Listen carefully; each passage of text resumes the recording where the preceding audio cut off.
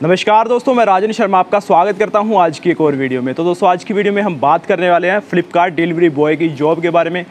और आपने ऐसी बहुत सारी वीडियोस हमारे चैनल पे देख ली होंगी कि फ़्लिपकार्ट डिलीवरी बॉय की जॉब आप कैसे पा सकते हैं। और आप फ़्लिपकार्ट डिलीवरी बॉय की जॉब आप कैसे पा सकते हैं, कैसे कर सकते हैं। तो आज की वीडियो में आपको बताने वाला हूँ फ़्लिपकार्ट की डिलीवरी बॉय की जॉब आप पा सकते हैं और आप डिलीवरी कार में कैसे कर सकते हैं। तो आज की वीडियो में हम इसी के बारे में डिस्कस करेंगे। फ़्लिपकार्ट आपको डिलीवरी का सेम ही प्राइस देता है, वो चाहे आप गाड़ी में कीजिए, वो चाहे आप बाइक पे कीजिए साइकिल पे कीजिए, लेकिन अगर आप बाइक पे कर रहे हो तो आप, एक लिमिट होती है कि आपको इतने पैकेट आप लेके जा सकते हो, क्योंकि बाइक पे आप एक बैग लोगे और साथ में एक बोरा, उसमें आपके ज़्यादा से ज़्यादा पचास पैकेट आपके आ सकते हैं।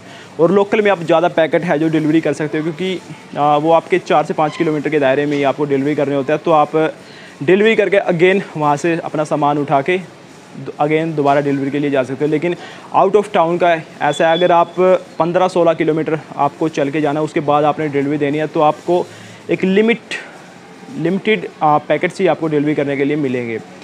तो गाड़ी में क्या है कि आपको एक लोकेशन दे दी गई है, जैसे मैं कैथल हब की बात कर रहा हूँ, आपको पुंडरी लोकेशन दे दी गई है कि पुंडरी में आपने डिलीवरी करना है।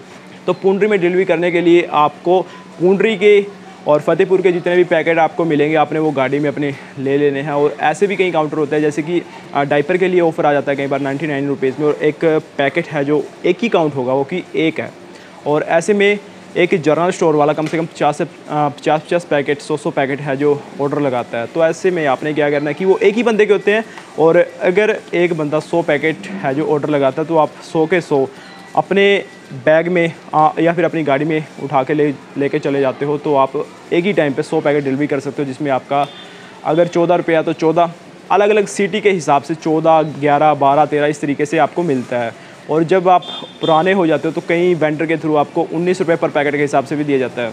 वो अलग अलग वेंडर की अलग अलग स्कीम होती है जो आपको दी जाती है। अब में कई सारे ऐसे लोग भी हैं जिनको उन्नीस रुपये पर पैकेट के हिसाब से है जो डिलीवरी का चार्ज दिया जाता है। अब मान के चलो आप गाड़ी लेके आ रहे हो और गाड़ी में आपको 150 पैकेट दे दिए गए हैं और 150 की आप 19 से मल्टीप्लाई करो तो आपको एक दिन में कितना होगा और महीने के आप इसमें कितने कमा सकते हो।